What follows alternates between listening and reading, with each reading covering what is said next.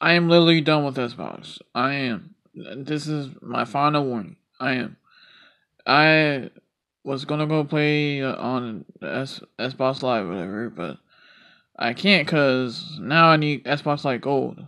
Um, yeah, this is really getting annoying because I have to pay fucking sixty dollars for just to play online, where PC, uh, you know, for Steam games, you know, playing your games, whatever, it's free online.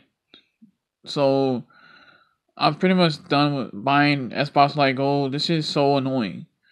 Like it's so annoying. You have to pay Xbox Live Gold.